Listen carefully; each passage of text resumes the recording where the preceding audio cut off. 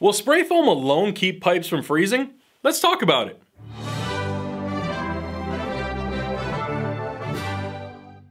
Welcome to Foam University. Today we're going to answer the question, will spray foam stop your pipes from freezing? Well, possibly, but let's stop and talk about the causes. What causes a pipe to freeze in the wintertime? Before we get into that even, be sure to go below and hit that like button. Appreciate you guys. So what causes a pipe to freeze in the cold season?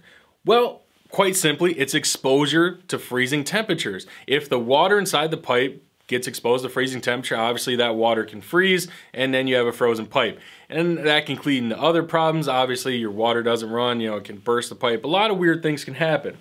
But that's the simplest way to look at it. That's what causes it. The water in, in the line gets to a point where it freezes. Now the question, can foam fix that issue? Well, it can certainly help. The problem is if the pipe if the water line itself is not inside the building envelope, then there's no heat source to it. And at the end of the day, you can have a pipe that's surrounded in thick, thick foam. If temperatures get low enough, I know last winter up in Michigan, we got well below zero. I mean, 20s below zero. And pipes can certainly freeze, even if they're really encased in insulation. If there's no heat source that's uh, able to get to that pipe, you always run that risk. So can foam help? Yes, it can establish that building envelope, it can establish that air seal, and it can help prevent those cold temperatures and those cold breezes from getting to the pipes.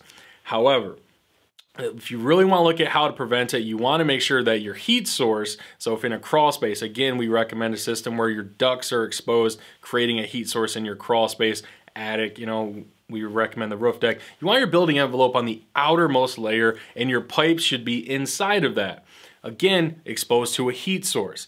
So if you're looking at foam insulation to help present, prevent something like frozen pipes, you wanna make sure are your pipes right against the outside wall. If they are, well, you can put, you can bury those pipes in foam and that still may not solve the issue. So again, when we're looking at frozen pipes, you wanna make sure there's room on the outside of those pipes to create an envelope, preferably with something like foam that creates an air seal. And you wanna make sure there's a heat source somewhere on the inside of the building that can be exposed to the pipe. Uh, keep in mind, like I said, when we get into really, really cold, cold temperatures, 20, 30, 40 below zero, uh, at that point, you still run the risk all the way around. So there are some preventative measures you can take. I really recommend you check out the link in our description below. There's some tips and tricks to go into help preventing frozen pipes uh, outside of foam insulation as well. Hope you found this information helpful. Drop us a comment if you have an idea or if you had an issue with frozen pipes in the past. Tell us about it. We'd love to talk to you.